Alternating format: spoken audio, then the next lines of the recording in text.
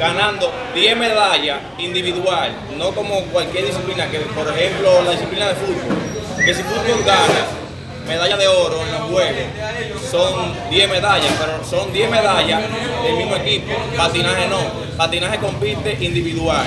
Nosotros fuimos 8 atletas que participamos en los Juegos Nacionales y de los 8 atletas, el femenino cogió 3 medallas de oro y el masculino cogió 2.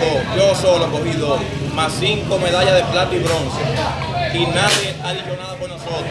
Los apartamentos se los están repartiendo entre ellos mismos, como la alcaldesa María Mercedes Ortiz, que le dieron 27 apartamentos y le dio 4 apartamentos a su regidor, Héctor Hernández, quien se los repartió en conjunto de su mamá y sus hermanos.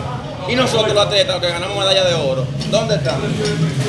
¿Dónde están los de nosotros? ¿Qué tú En ningún lado. Y nadie nos dice nada por nosotros. Donde nosotros le dimos todo por el todo para sacar la provincia en alto. Y nadie dice nada por ¿Qué nombre nosotros. tuyo cuál es mi hermano? Steven Abreu. En tu condición, ¿qué tú sugieres?